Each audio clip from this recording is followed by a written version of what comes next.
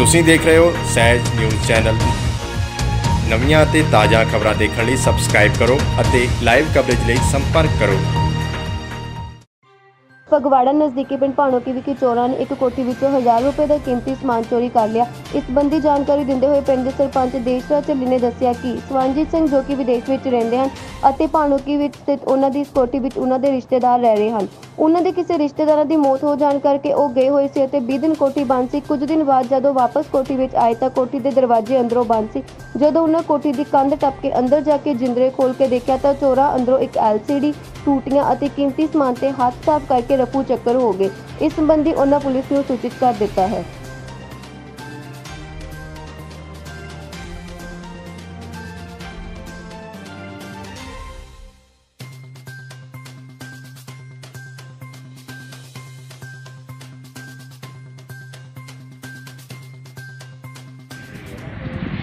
ਮੈਂ ਦੇਸਰਾ ਝੱਲੀ ਸਰਪੰਚ ਭਾਣੂਕੀ ਜੀ।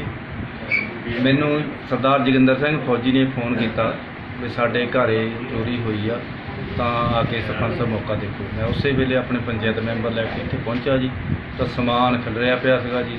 ਇਹਨਾਂ ਨੇ ਦੱਸਿਆ ਵੀ ਐਲਸੀਡੀ ਵੀ ਚੋਰੀ ਹੋਈ ਆ, ਪੰਜ ਬਾਥਰੂਮਾਂ ਦੀਆਂ ਟੂਟੀਆਂ ਲਾ ਲਈਆਂ ਜੀ। ਤਾਂ ਫਿਰ 10000 ਰੁਪਈਆ ਸੀਗਾ ਮਾਤਾ ਦਾ ਜੀ ਘਰ ਪਿਆ ਅਲਮਾਰੀ ਵਿੱਚ, ਉਹ ਵੀ ਨਹੀਂ ਹੈਗਾ ਜੀ ਇੱਥੇ।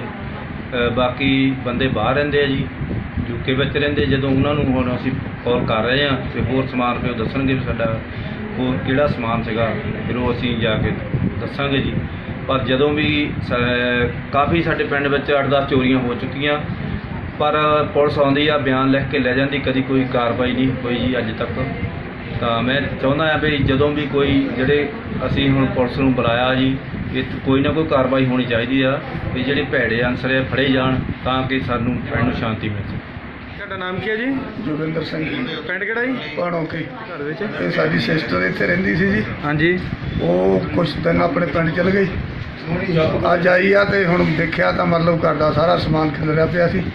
ਐਲਸੀਡੀ ਵਗੈਰਾ ਗਾਇਬ ਪਿਆ 10000 ਰੁਪਈਆ ਸੀ। ਅੱਛਾ ਜੀ। ਹੋਰ ਐਨ ਆਰ ਆਈ ਭਰਾ ਸਾਡਾ ਬਾਹਰ ਰਹਿੰਦਾ। ਉਹਦੇ ਤੋਂ ਪਤਾ ਲੱਗੇਗਾ ਕਿ ਉਹਦਾ ਪਰਸਨਲ ਕੀ ਸਮਾਨ ਸੀ। ਅੱਛਾ ਪਿੰਡ ਦੇ ਵਿੱਚ ਕਿੰਨੇ ਕੁ ਮਸਲੇ ਚੋਰੀ ਦੇ ਹੋ ਚੁੱਕੇ ਆ? ਕਈ ਹੋ ਚੁੱਕਿਆ ਜੀ। ਤੇ ਕੋਈ ਪ੍ਰਸ਼ਾਸਨ ਵੱਲੋਂ ਕੋਈ ਕਾਰਜਕਾਰੀ ਕੋਈ ਨਹੀਂ ਕੁਝ ਨਹੀਂ ਹੋਇਆ ਜੀ। ਮਤਲਬ ਆਉਂਦੇ ਆ ਲਿਖ ਕੇ ਲੈ ਜਾਂਦੇ ਆ। ਤੇ ਤੁਸੀਂ ਕੀ ਮੰਗ ਕਰਦੇ ਹੁਣ ਅਸੀਂ ਤਾਂ ਪ੍ਰਸ਼ਾਸਨ ਮੰਗ ਕਰਦੇ ਆ ਵੀ ਮਤਲਬ ਚੋਰੀ ਟ੍ਰੇਸ ਕੀਤੀ ਜਾਵੇ ਪਤਾ ਲੱਗੇ ਵੀ ਕਿਹੜਾ ਚੋਰ ਆ। ਸੀਸੀਟੀਵੀ ਕੈਮਰੇ ਫੁਟੇਜ ਜਿਹੜੀ ਆ ਉਹ ਨਿਕਲੀ ਹੈ ਸਾਹਮਣੇ ਆਈ ਹੈ ਕਿ ਨਹੀਂ ਹਲੇ ਜੀ? ਨਹੀਂ ਉਹ ਨਹੀਂ ਆਈ ਜੀ ਹਾਲੇ। ਕੈਮਰੇ ਦੂਰ ਆ ਸਾਡੇ ਸਾਹਮਣੇ ਨਹੀਂ ਆਏ। ਠੀਕ ਹੈ ਜੀ।